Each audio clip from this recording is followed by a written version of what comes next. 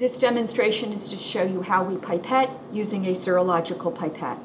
The pipette that I'm holding has three markings, 0.5 mLs, 1.0, and 1.1 mLs. I'm going to place the pipette pumper on the top of the pipette, putting my thumb on the wheel. I'm going to dip the pipette into the liquid, rotate the wheel in a downward motion, and I'm going to draw the liquid to the 1.0 line. To expel, press down on the plunger.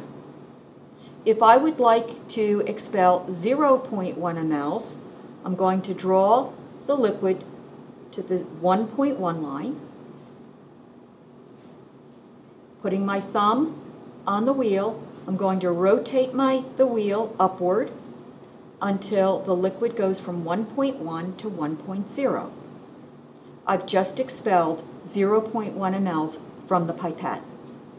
To expel the remaining 1 ml of liquid, press down on the plunger.